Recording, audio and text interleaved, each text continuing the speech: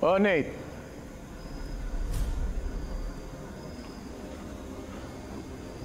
Nate. What are you doing here? Ha? Sabi ng mama mo, hindi ka makakarating. Halika na, pumasok ka na sa loob. Baka mahamugan ka pa, lalo ka magkasakit.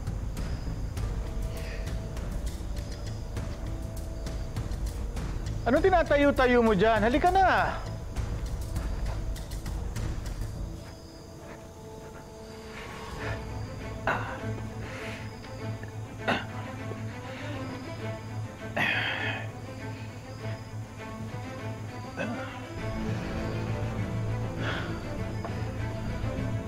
Oh, ligpit nyo na to ha. Tapos, bawasan mo na rin yung ulam dahil kami lang yung serve ng kakain ha. Oh, dadating din pala tong anak mo.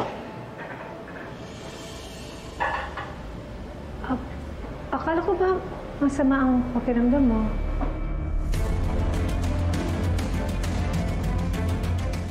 Ak- akala ko ba masama ang pakiramdam mo?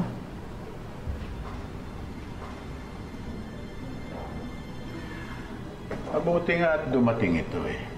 Ang hina naman niya kung lagnat lang eh, hindi siya bumangon. Ha? Naggamot po ako.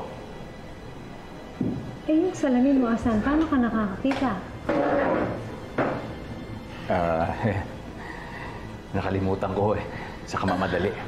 Dahil ayoko pong malit. Eh, si Sheila, asan? Ang daming tanong! Gutom na ako, upo na kayo. Upo na kayo.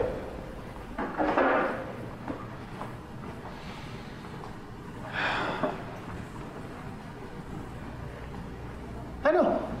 Upo ka na!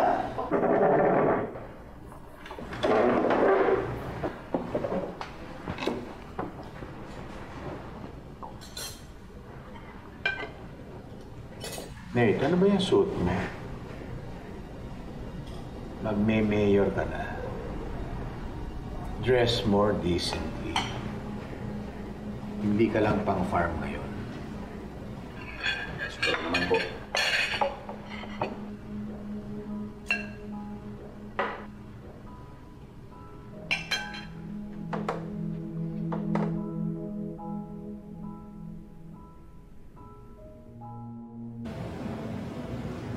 Wala ka na rin pakinabang para sa akin.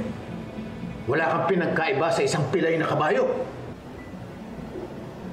Alam mo kung ano ginagawa ko sa pilay na kabayo?